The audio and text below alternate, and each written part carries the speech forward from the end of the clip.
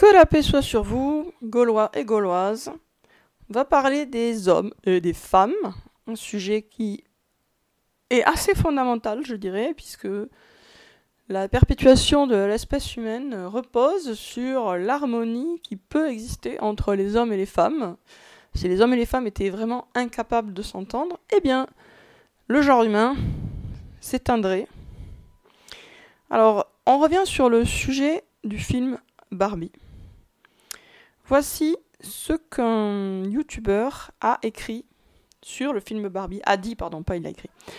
On prend encore une fois l'individualisme. À la fin du film, on te fait comprendre que Barbie et Ken n'ont pas besoin l'un de l'autre, ils ne se complètent pas. Barbie, c'est Barbie, elle va de son côté. Ken, c'est Ken, il va de son côté. Alors, je suis d'accord avec lui. Euh, maintenant, quand il parle d'individualisme, on prend encore une fois l'individualisme, euh, c'est peut-être pas le mot le plus précis par rapport au film Barbie, dans la mesure où dans Barbie ça va plus loin que l'individualisme. Je dirais plutôt ça prône euh, la fin de l'amour, la disparition de l'amour. C'est un film anti-amour. Ce qui ne veut pas dire qu'il n'a pas des, des, points positifs. Personnellement, il y a quand même des passages qui m'ont fait bien rire et des scènes que j'ai trouvées euh, assez fortes, malgré tout. Euh, mais par contre, je suis d'accord sur lui, euh, avec euh, ce, ce youtubeur cinéphile, sur le fait que le film Barbie fait passer le message que les hommes et les femmes ne sont pas complémentaires et qu'ils ne sont pas finalement censés être ensemble. Et ça, c'est bien un discours anti-amour. L'idée que les hommes et les femmes ne sont pas faits pour vivre ensemble, c'est beaucoup plus, beaucoup plus, enfin, ça va beaucoup plus loin que le simple individualisme. C'est au-delà de l'individualisme. C'est un discours anti-couple, anti-amour. Et voici ce que le Fou Allier, qui est un youtubeur féministe, un homme féministe donc, a répondu au youtubeur cinéphile. Voici ce qu'il a répondu mot pour mot, et c'est un peu filandreux, mais concentrez-vous, je vous prie. C'est intéressant par rapport à tout ce qui ressort finalement de, euh, à travers les lignes, quoi, entre les lignes. Voici ce que répond donc le fou allié. Je ne suis pas du tout, euh, ce n'est pas du tout une critique de la complémentarité. Le fait qu'une homme, pardon, excusez-moi, ce n'est pas du tout une critique de la complémentarité. Le fait qu'une femme n'ait pas à envisager l'intégralité de sa vie auprès d'un homme, que son critère de réussite ce ne soit pas de se dire il faut que je sois en couple avec un homme pour que je le trouve parce que je le trouve beau. Là, il y a un message féministe. Il n'est pas question de dire les hommes et les femmes ne vont pas ensemble, mais aussi de proposer aux personnes qui viennent voir un film qu'il existe autre chose, que les femmes ont le droit de vivre en dehors de la pression du regard masculin, c'est un vrai bon message et c'est pas de l'individualisme. C'est pas être individualiste que de ne pas avoir envie d'être en couple. L'objectif des films n'est pas de nous vendre une sorte de relation hétéronormée toute faite où le destin des femmes est de devenir systématiquement la compagne d'hommes. Donc c'est pas très clair ce qu'il te raconte, mais selon lui, le fait que Barbie et Ken partent chacun de leur côté euh, n'implique pas qu'il y a un, message euh, contre la complémentarité. C'est-à-dire. Euh, bon, je vais faire des réflexions qui vont être euh, un peu hétérogènes, dispersées, mais je pense que c'est à travers ces petites réflexions de bon sens qu'on peut casser les prisons idéologiques que sont la misogynie d'un côté et le féminisme de l'autre. Quand je parle de féminisme, je parle d'un certain féminisme, celui qui a le vent en poupe actuellement, depuis déjà pas mal d'années, qui est un féministe, selon moi, euh, tordu. Alors, c'est pas le, pas le bon, c'est pas le vrai, c'est un féminisme euh, toxique. Donc, selon moi, il y a deux prisons idéologiques qui se font face la prison misogyne et la prison féministe. Et les deux sont toxiques. Il y a la misogynie toxique et il y a le féminisme toxique. Et c'est important de réussir à comprendre de quelle manière les deux nous emprisonnent et nous limitent intellectuellement et nous déconnectent du réel et de la vérité. Quand le fou allié dit Les femmes ont le droit de vivre en dehors de la pression du regard masculin, il oublie, ou il feint d'oublier, que pour vivre en dehors de la pression du regard, du regard masculin, il suffit d'être moche. Une femme qui n'est pas regardée souffre de ne pas l'être. Et de même, un homme que toutes les femmes ignorent ou rejettent en souffre. Les petits garçons ont pour refrain Regarde, maman, regarde On a besoin d'être regardé par l'autre, validé par le regard de l'autre. On en a besoin de sa naissance à sa mort. On a tous soif d'être regardé avec amour. L'attention est la plus convaincante des preuves d'amour parce que c'est la plus factuelle, la plus objective.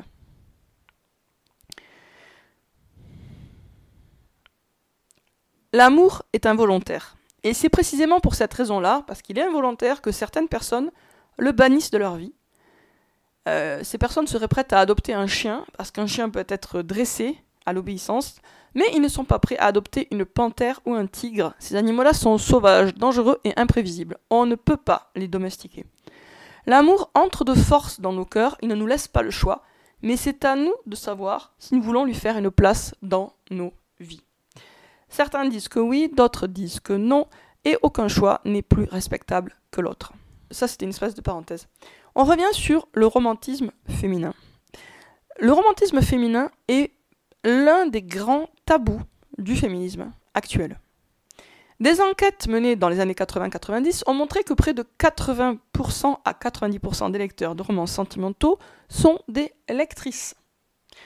Quant au mariage, eh bien, il y a environ euh, la moitié des conjoints qui sont des femmes. Hein. Je veux dire, quand un homme et une femme se marient, eh il y a une femme qui se marie, qui choisit de se marier, qui choisit donc d'entrer dans une histoire d'amour qui a une dimension officielle. Et puis il faut ajouter toutes les femmes qui vivent des histoires d'amour sans se marier, qui choisissent d'entrer dans une histoire d'amour sans se marier. Euh, donc dans les années 80-90, près de 80 à 90% des lecteurs de romans sentimentaux étaient des lectrices, des femmes, et depuis le pourcentage n'a pas changé. Qu'est-ce que ça veut dire? Ça veut dire ça et le fait que dans la réalité, les femmes tombent amoureuses, vivent des histoires d'amour, ça veut dire que les femmes ont un côté romantique. Les hommes aussi, vous me direz. Oui. Mais dans la mesure où ce n'est pas 80 à 90% des lecteurs d'hommes sentimentaux qui sont des hommes, enfin que euh, les hommes ont un côté romantique puisqu'ils vivent des histoires d'amour, mais ils ont un côté romantique moins développé dans la mesure où ils ne constituent que 20 à 30% des lecteurs de romans sentimentaux. Et je pense que pour les comédies sentimentales, on pourrait à peu près faire le même constat. C'est-à-dire que 80 à 90% des les gens qui, aiment les comédies sentimentales sont des femmes. De toute évidence, c'est à la fois évident euh, si, on est, enfin, si on est un peu connecté au réel, mais c'est aussi prouvé par finalement les données objectives, factuelles et les études. Les femmes sont romantiques. Quand je dis qu'elles sont romantiques, je veux dire qu'elles ont euh, du goût pour les histoires d'amour, elles ont envie d'en vivre et elles ont envie d'en imaginer. Et ce fait-là est extrêmement problématique pour les féministes. C'est un fait qui est embarrassant. Au lieu de regarder la réalité en face, donc les femmes sont naturellement romantiques, elles aiment les histoires d'amour, les féministes, en général, elles préfèrent louvoyer en prétendant que les femmes sont conditionnées par des stéréotypes culturels, et donc leur choix de lecture ne serait pas libre, mais euh, ne serait pas libre, ne serait pas personnel, et serait juste le résultat, un tantinet affligeant, de leur aliénation. Quand le fou allié cherche à justifier le film Barbie, et à le laver de, l'accusation d'individualisme, il s'embourbe dans des phrases assez alambiquées. Donc je vais reformuler ce qu'il a dit pour clarifier sa pensée, même si du coup euh, je pense qu'il trouverait sans doute que je caricature sa pensée.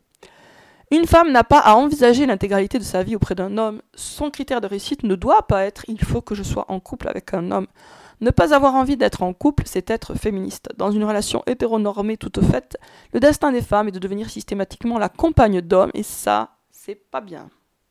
Qu'est-ce qui ressort finalement de, son point de vue? C'est que, ben, effectivement, euh, vouloir être en couple, euh, c'est pas féministe, quoi. C'est pas un projet féministe. Et c'est là qu'on voit bien que le féminisme actuel, hein, bien sûr, il est quand même déconnecté du réel. Les femmes sont plus romantiques que les hommes, elles ont plus elles sont plus avides d'histoires d'amour. Et si elles sont, avides sont avides d'en consommer, c'est qu'elles ont envie, bien sûr, d'en vivre aussi. Mais, dans la perspective féministe, non, non, non, non pas du tout. Euh, la femme n'est pas romantique, les femmes ne sont pas romantiques. Ni la femme avec un grand F, ni les femmes réelles ne sont romantiques, non. C'est juste qu'elles sont conditionnées par des clichés, des stéréotypes, gna, gna, Bon, autrement dit, elles vont délibérément, par leur propre choix, aller s'acheter des romans sentimentaux mais c'est la pression de la société. Attendez, moi, quand j'étais petite, ma mère m'a jamais dit va lire des romans sentimentaux. Personne m'a jamais poussé en ce sens-là, je me suis poussée toute seule. Et euh, c'est le cas de toutes les lectrices de romans sentimentaux. Elles n'ont jamais eu la pression, une pression familiale pour aller lire des romans sentimentaux. Ça, ça, vient de soi. Euh, et, je dirais même que non seulement ça vient de soi, mais dans certains milieux, comme le mien d'ailleurs, ça peut même être un peu honteux de lire des romans sentimentaux. C'est pas quelque chose dont on, a, dont on est fier de lire des romans sentimentaux. On ne se vante pas de lire des romans sentimentaux, mais on les lit quand même. Donc s'il y avait une pression sociale, ou s'il y a une pression sociale, c'est plutôt dans l'autre sens. Genre, n'en lis pas, c'est la honte.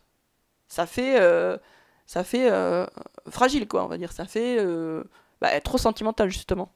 Donc, s'il y a une pression sociale, elle est plutôt contre que pour les romans sentimentaux. Et donc, on ne peut pas expliquer le fait que les femmes aiment lire des romans sentimentaux par une espèce de pression sociale infligée dès l'enfance. C'est faux, c'est totalement faux.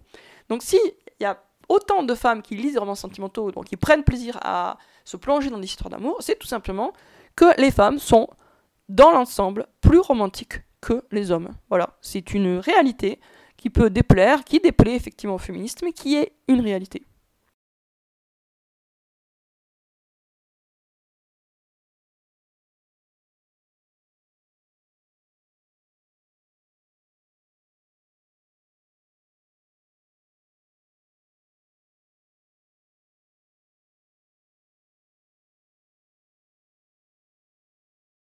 Une femme n'a pas à envisager l'intégralité de sa vie auprès d'un homme. Mais pourquoi? Pourquoi c'est pas bien d'envisager l'intégralité de sa vie auprès d'un homme? En quoi c'est mal d'envisager l'intégralité de sa vie auprès d'un homme? On voit bien qu'on est dans, un discours euh, hyper normatif. Soi-disant, le féminisme, c'est la liberté, les femmes peuvent être ce qu'elles veulent. Mais en fait, c'est un discours très normatif. Tu veux vivre une histoire d'amour euh, éternelle jusqu'à la mort euh, c'est pas bien, c'est mal. Sauf si tu veux la vivre avec une femme ou avec un trans. Mais si c'est avec un homme, là, c'est pas bien. Bon, je, j'extrapole, mais c'est clair que quand il parle de relations hétéronormées comme si c'était grave, on voit bien qu'il est en train de. que le fou allié, en fait, partage l'idéologie euh, euh, actuelle qui fait que tout est merveilleux dans les histoires d'amour, sauf une histoire d'amour entre guillemets classique homme-femme. Tout est merveilleux, sauf un homme et une femme. Ça, c'est ça, ça c'est hétéronormé, euh, c'est étroit, et, une femme ne devrait pas envisager l'intégralité de sa vie auprès d'un homme. 5 minutes, oui, 10 minutes, oui, un an, oui, peut-être, mais pas 50 euh, ans, quoi. Alors, je continue à réinterpréter à ma sauce, peut-être un petit peu, peut-être j'exagère, hein, les euh, propos du allié. Son critère de réussite ne doit pas être il faut que je sois en couple avec un homme. Mais pourquoi? Si c'est si ça son critère de réussite, pourquoi on ne peut pas respecter Le féminisme actuel hein, n'est pas du tout respectueux de ce que veulent vraiment les femmes classiques, je dirais entre guillemets. C'est-à-dire quand même la majorité, hein, la majorité des femmes. Il n'est pas respectueux de ce qu'elles veulent et il prétend, les, féministes prétendent mieux savoir que les femmes elles-mêmes ce que les femmes veulent. Euh, c'est-à-dire, les féministes, le discours féministe euh, prétend décrypter les vrais désirs des femmes sous leurs désirs apparents. Une femme veut dire, par exemple, ouais, j'ai envie d'avoir un copain, je me sens seule, ni Non, non, non, mais en fait, tu t'imagines ça, mais en fait, tu veux autre chose. Bon. Tu veux, euh, je sais pas, moi, changer le monde, ou tu veux bah, changer de sexe, en fait, ou tu veux vivre une belle histoire d'amour, mais avec une femme et pas avec un homme, etc. Ne pas avoir envie d'être en couple, c'est être féministe. Ça, il n'a pas dit, hein, le faux allié. Mais euh, je pense que c'est réellement ce qu'il pense, même si c'est pas forcément très assumé. Euh, c'est-à-dire que avoir envie d'être en couple, ce n'est pas féministe. On va dire ça comme ça.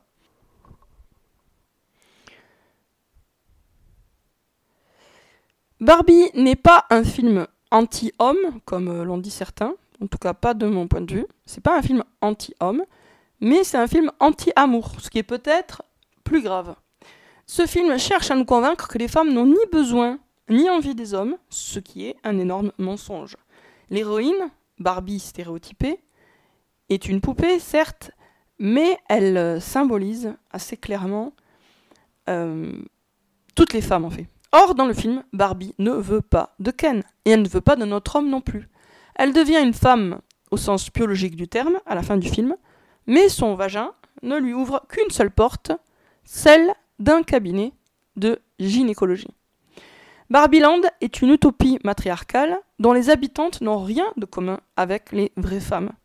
Tous les besoins affectifs des Barbies sont comblés par les autres Barbies. Quant aux besoins sexuels, elles n'en ont pas. À Barbieland, les Ken sont inessentiels, facultatifs.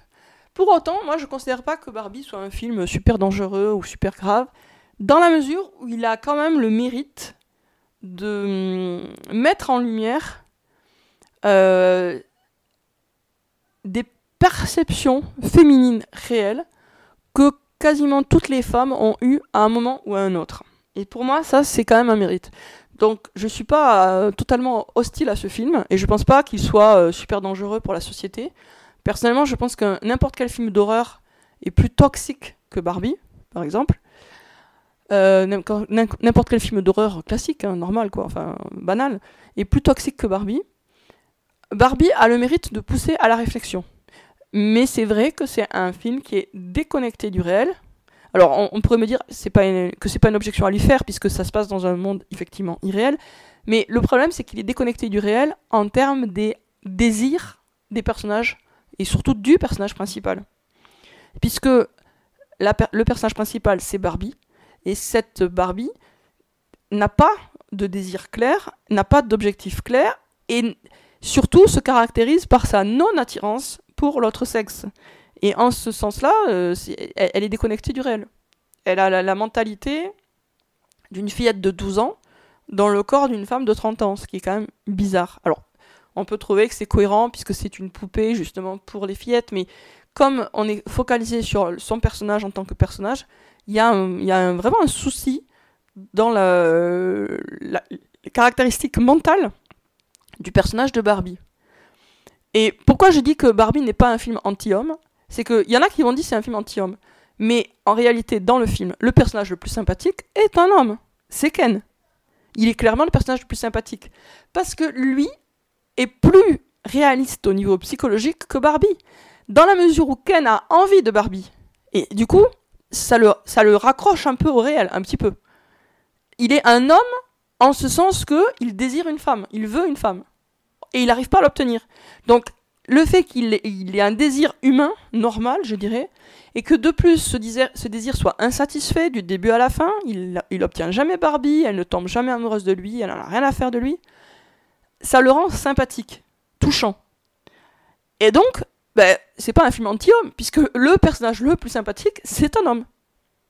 Mais c'est un film anti-amour, dans la mesure où son message, c'est vraiment que les hommes et les femmes n'ont rien à faire ensemble, et qu'ils ne peuvent coexister que dans des relations gagnant-perdant.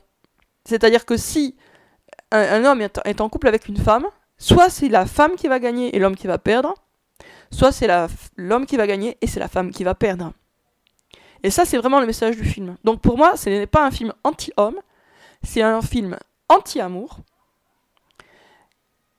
où euh, les, femmes sont présentées de façon complètement illusoire et trompeuse, comme n'ayant pas besoin des hommes, ni besoin ni envie.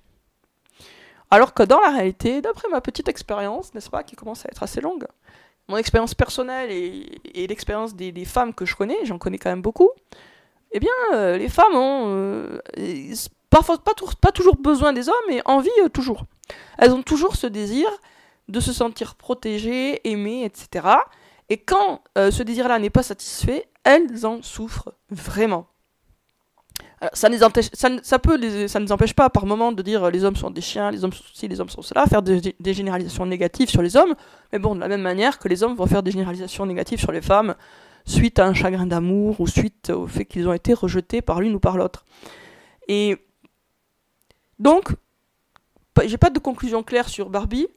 C'est un film qui a le mérite d'ouvrir certains sujets, de pousser à la réflexion, euh, d'appuyer là où ça fait mal par moment euh, de façon assez juste, j'ai trouvé.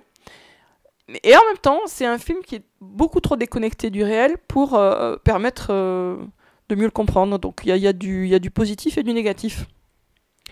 Je reviens à mon point de départ. Le féminisme est une prison mentale, une idéologie trompeuse. Enfin, le féminisme actuel la misogynie est une prison, mentale, et c'est euh, un mensonge, un, tissu de mensonge, et il faut en sortir aussi. Et maintenant, je vais revenir encore sur un point important, je trouve, c'est ce sujet de la complémentarité. les féministes radicales considèrent que les hommes et les femmes ne sont pas complémentaires, même si elles vont pas le dire comme ça, elles, le pensent. Elles pensent qu'ils sont pas complémentaires, qu'ils sont semblables, profondément semblables, et que le, seul problème, c'est que les hommes ont toujours opprimé les femmes. C'est ça le point de vue des féministes radicales. Pour les féministes radicales, les hommes et les femmes sont profondément semblables, mais il y a un groupe qui a opprimé l'homme pendant des siècles et victimisé l'autre pendant des siècles. Bon. Pour euh, les misogynes, les misogynes, les hommes n'ont pas besoin des femmes. Les femmes sont juste euh, décoratives, euh, profondément inutiles, sauf pour mettre au monde des bébés. Ça, c'est le, point de vue d'Andrew Tate, même s'il va arrondir les angles maintenant, mais c'est quand même son point de vue. Elles sont inférieures aux hommes, intellectuellement, physiquement, à tous les niveaux, elles sont inférieures. Elles sont facultatives, donc à la limite, oui, elles sont jolies, donc elles peuvent décorer, mais finalement, leur rôle n'est que celui de jolie potiche. On n'a pas, pas besoin d'elle. Voilà. Après, entre le point de vue féministe et le point de vue misogyne, il y a la plupart des gens qui disent bon, les hommes et les femmes sont complémentaires. Et c'est vrai, en réalité, les hommes et les femmes sont complémentaires. Et ça se voit même par les études scientifiques qui ont été menées, qui montrent par exemple que les cerveaux masculins sont beaucoup mieux câblés dans le sens euh, euh, arrière, arrière avant, et les cerveaux féminins sont beaucoup mieux câblés dans le sens euh, droite-gauche. C'est-à-dire, c'est complémentaire en sens que les hommes vont avoir un bon câblage dans un sens et les femmes ont un bon câblage dans l'autre sens. Ce qui fait que très logiquement, un cerveau masculin plus un cerveau féminin, ça va, ça va donner de bons résultats. Parce qu'ils sont réellement, au niveau, au, niveau vraiment euh, physiologique, du câblage, de la façon de raisonner, ils sont complémentaires. Mais quand on dit les gens, les hommes et les femmes sont complémentaires, il y a quand même une question qui demeure, c'est on est complémentaires, ok, mais euh, sont, enfin, on est complémentaires, donc on est différents et on se complète, ok, mais quelles sont nos caractéristiques? Et là, quand on creuse, si on va demander à quelqu'un finalement, par exemple, en quoi les hommes et les femmes sont différents, on va voir très vite ressortir, assez souvent, très très souvent, l'idée que les femmes sont différentes, mais en fait parce qu'elles sont moins ceci. C'est-à-dire, elles ont des caractéristiques qui sont moins intéressantes que les hommes. Ça, c'est le point de vue de beaucoup d'hommes et de pas mal de femmes aussi. C'est-à-dire qu'ils vont considérer que, par exemple, l'homme est raisonnable, la femme est sentimentale. Mais la raison, c'est euh, l'outil dont on a besoin pour trouver la vérité. Donc dire ça, c'est pas juste dire ah on est complémentaires, c'est très bien, c'est super. C'est dire aussi que les hommes sont supérieurs aux femmes. Or, toutes les études sérieuses ont montré que dans les tests de QI, les hommes ne sont pas plus intelligents que les femmes. Les femmes ne sont pas plus bêtes que les hommes. Donc en fait c'est faux l'idée que les hommes sont plus rationnels que les femmes, c'est faux. C'est faux. Donc, en fait, souvent, dès qu'on va creuser un petit peu en demander, euh, mais finalement, euh, de quelle manière on est complémentaires, quels sont les points forts de l'un, les points forts de l'autre, ça, va être réinterprété. Il y a des différences réelles, mais qui vont être réinterprétées en termes de supériorité et d'infériorité. Alors que, ben, quand on creuse bien au niveau purement factuel, il n'y a pas de supériorité euh, intellectuelle de l'homme sur la femme, il n'y en a pas en fait. Euh, on a longtemps cru qu'il y en avait une, mais tout ce, tout ce qui est étude sérieuse qui a été menée sur le sujet a contredit ça. Donc l'homme n'est pas supérieur intellectuellement à la femme. Et euh, il n'est pas supérieur moralement non plus, puisque la majorité des crimes, des meurtres, etc., sont commis par des hommes. Des, des, viols aussi, bien sûr. Hein donc sont commis par des hommes. Donc la femme n'est inférieure ni